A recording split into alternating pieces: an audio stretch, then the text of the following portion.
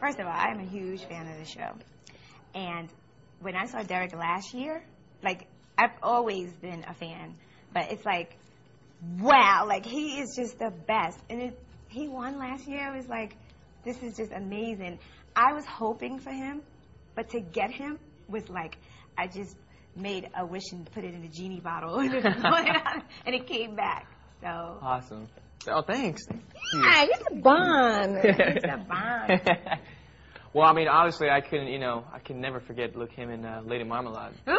For sure, of course. I mean, that's you know a legendary video. So, you know, when I when she came in, I was, uh, I mean, of course, I didn't actually, I didn't know how little she was. and I tell you what, it, it was adorable. When she came in, and her burst of energy and her excitement, just like, you know, because we were really, really nervous the first day, you know.